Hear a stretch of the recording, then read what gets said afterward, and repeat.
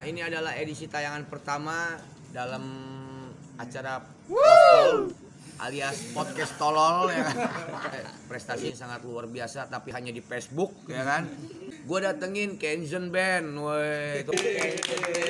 Ada Step Sur, musuhnya JJ Konspirasi. Ojan dan Boris. Ya, yang nonton kalau bisa yang komen harus mencela kalau bisa ya. Jangan dibagus-bagusin.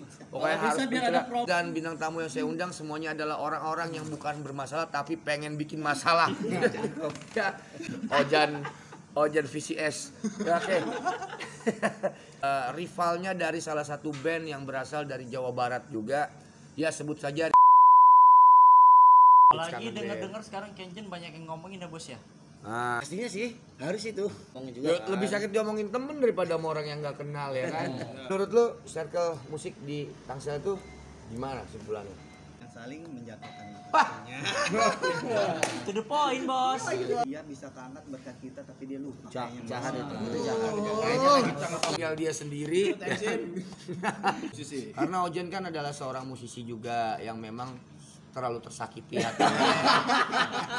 dan Ojan sempat merilis satu buah single yang diupload ke Spotify dan yang mendengarkan adalah tukang-tukang buah angke semuanya ya.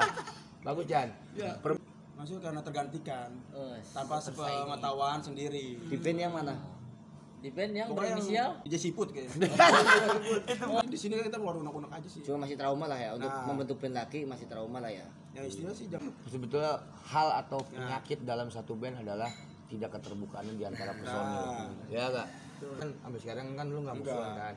Terus ada rencana musuhan nggak kapan? nggak mau. Habis podcast ini kayak Pak. Terakhir kali ngeband kapan? Jan? Udah nggak ketemu temen-temen band Udah lain. ketemu yang lain. Terakhir ketemu kapan? Terakhir Udah kapan? ketemu sih Teng teng teng teng teng Tanpa Ojan, teng, kita teng, sudah datangkan orang yang Ojan dari tadi sudah Teng teng bicarakan. teng teng Langsung aja kita panggil Ali Muhammad. Eh nggak jadi nggak jadi. Orang lagi kerja.